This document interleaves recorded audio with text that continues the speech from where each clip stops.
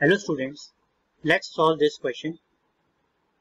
On comparing the ratios a1 upon a2, b1 upon b2 and c1 upon c2, find out which pair of linear equation is inconsistent.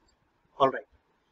So students इस question में हमें क्या करना है इस question में हमें आ, ये रेशियोज कंपेयर करने हैं सभी इक्वेशंस के और इनमें से वो इक्वेशन फाइंड आउट करके देनी है जिसमें जो लीनियर इक्वेशन क्या हो? इनकंसिस्टेंट इनकंसिस्टेंट का मतलब क्या है? ऐसी लीनियर इक्वेशंस जिनका कोई सोल्यूशन फाइंड नहीं हो सकता।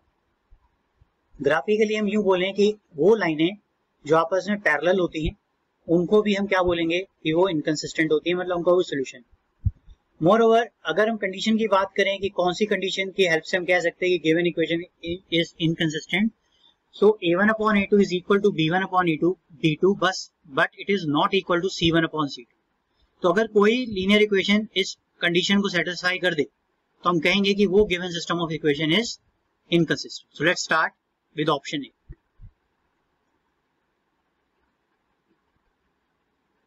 solution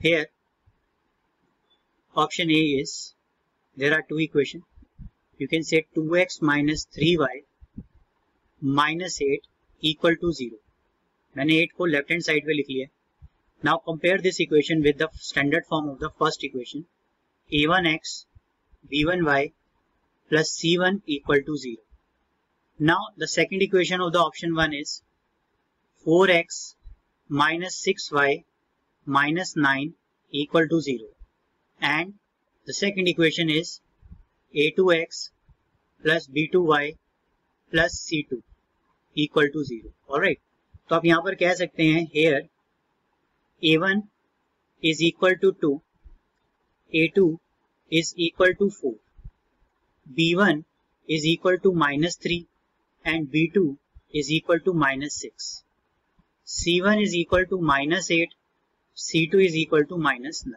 alright now find the ratios so if you find value of a1 upon a2, it is 2 upon 4, cancel it and we will get 1 upon 2. Similarly, if you find b1 upon b2, you will get minus 3 upon minus 6, cancel it and you will get 1 upon 2.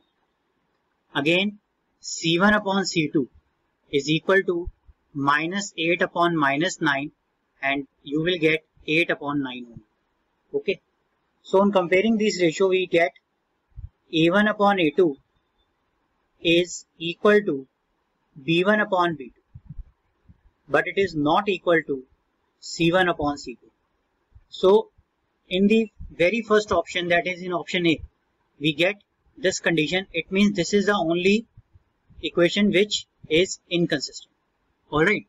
तो चलिए लिख लेते हैं अपना final answer Therefore,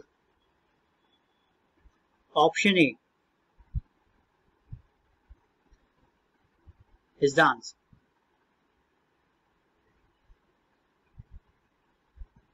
Alright, thank you. I hope your doubt is clear with this video. If it's so, then please like it, share it with your friends and if you still have a doubt, then you may share your query either through comment section or you may contact me. Contact details are available in a description box. Okay. Uh, one more thing. Free live online math classes for class 9th and 10th. Daily at 9 pm only on YouTube. So don't forget it. Join it. See you there. Jai Hind.